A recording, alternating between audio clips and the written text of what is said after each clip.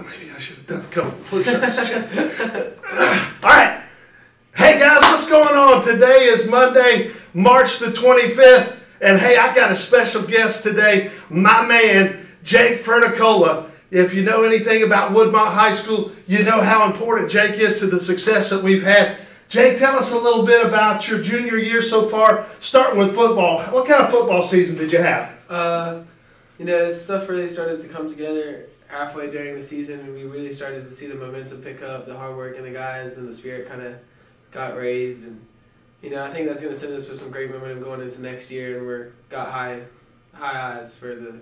Now tell me about the playoff game for the first time in school history, or not school history, but the first time in a long, long time. We actually won five games in a row. We. We finished in second place to TL Hanna, who eventually is the uh, plays in the state championship game down in Columbia, and we actually have a home playoff game against Gaffney. What was that like for you? Uh, that was a very emotional and intense game for all of the guys, and you know, I think having that close, tough loss is really kind of what sparked us into next year. You know, you kind of need something like that just to give you some more motivation. And I think that's what's going to help us this year. Now you were on conference, isn't that right, Yes, Jake? sir. On both sides of the ball. Yes, sir. Now, how about that? Two on both sides, he plays offense and defense. Tell you an unbelievable story. We played at Laurens High School, and uh, Jake played on both sides of the ball. He didn't come off the field, and after the game was over, he jumps into his dad's suburban, and they drive all the way up to Virginia.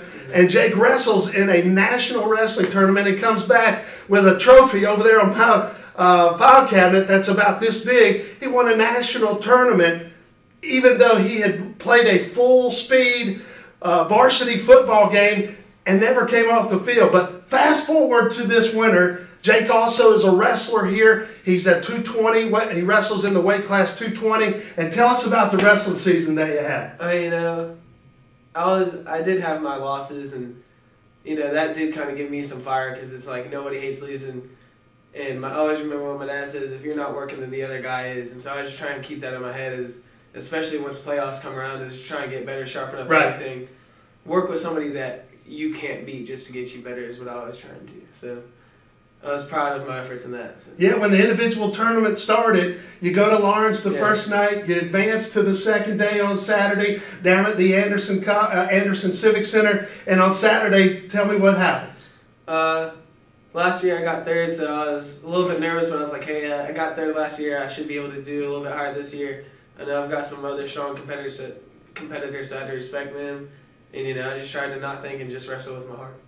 What did it feel like standing on the on top of the uh, podium, and that guy put the medal around your neck, and knowing that in the state of South Carolina, nobody was better in 220. Oh, it was definitely undescribable. Like I just was filled with joy and pride. I was so happy to see everyone around me, all my supporters, all my friends that I've trained with all the years, and it was just incredible. Well, I, I hope that you know that didn't happen by mistake.